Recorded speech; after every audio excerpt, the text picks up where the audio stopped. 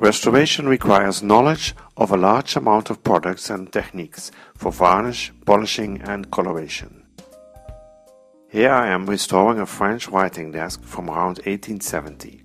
Shiny black lacquered wood with brass and bronze ornaments. Materials react different with time. Wood shrinks and brass doesn't, with the result that the brass often comes loose.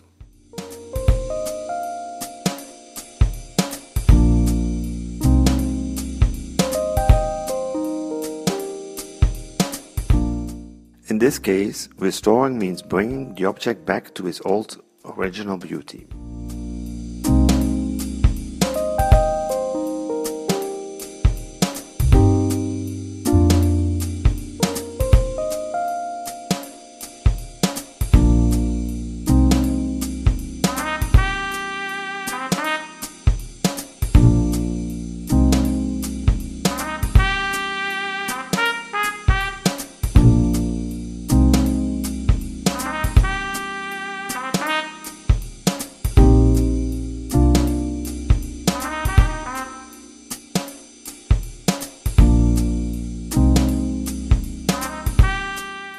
Here I am gluing back the brass ornaments using fish glue.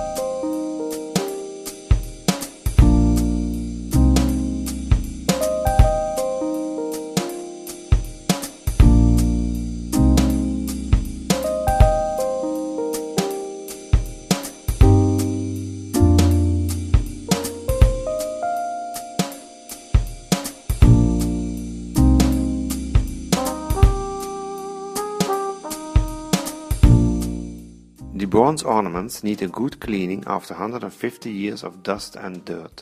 Here I am using copper polish and a mix of soap and ammonia.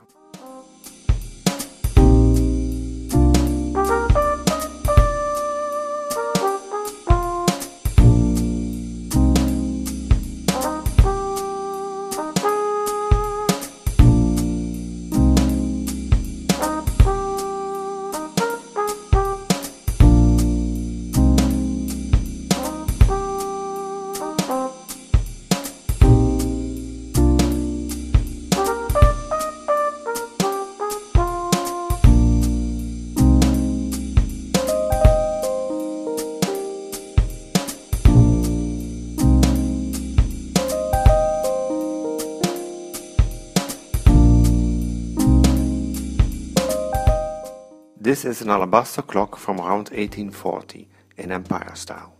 They are very beautiful and very fragile. With the time and humidity, some parts have become loose and it will take some time and work to get it back to its original beauty.